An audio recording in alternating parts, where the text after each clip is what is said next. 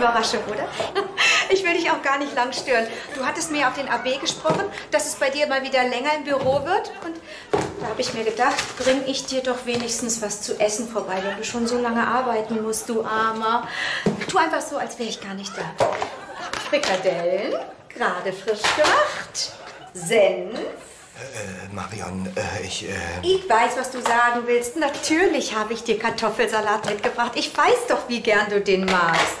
Du hast bestimmt einen riesigen Kohldampf. So, jetzt isst du erst mal ordentlich und dann geht's mit neuer Kraft weiter. Was musst du denn hier noch so lange machen? Zeig doch mal. Oh, das sieht aber wirklich kompliziert aus. Da wüsste ich ja schon gar nicht, wo oben und wo unten ist. Nein, ich habe ja eh keine Ahnung von sowas. So, dann will ich dich mal weitermachen lassen. Glaubst du denn, das dauert noch länger hier? du, ich versuche mich natürlich zu beeilen, aber äh, weißt ja, wie es ist. Man steckt nicht drin, ne? Lass es dir schmecken. Mach nicht zu lang. Tschüss.